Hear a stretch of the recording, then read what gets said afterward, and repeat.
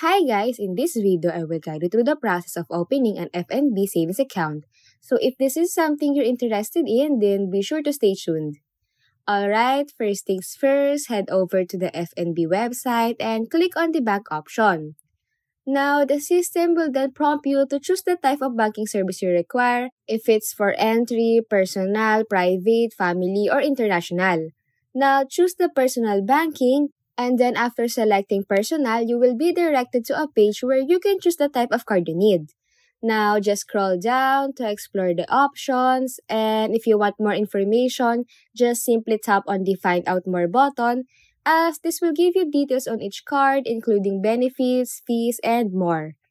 Now, once you've found the card that suits you, go ahead and tap on the Open an Account button and from there you will be prompt to provide your details. So the initial information they will ask includes your contact number and RSA ID number. Now just go ahead and enter it and then after completing this step, simply tap continue to proceed.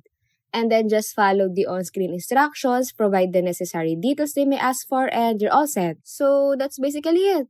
You've successfully opened an FNB savings account.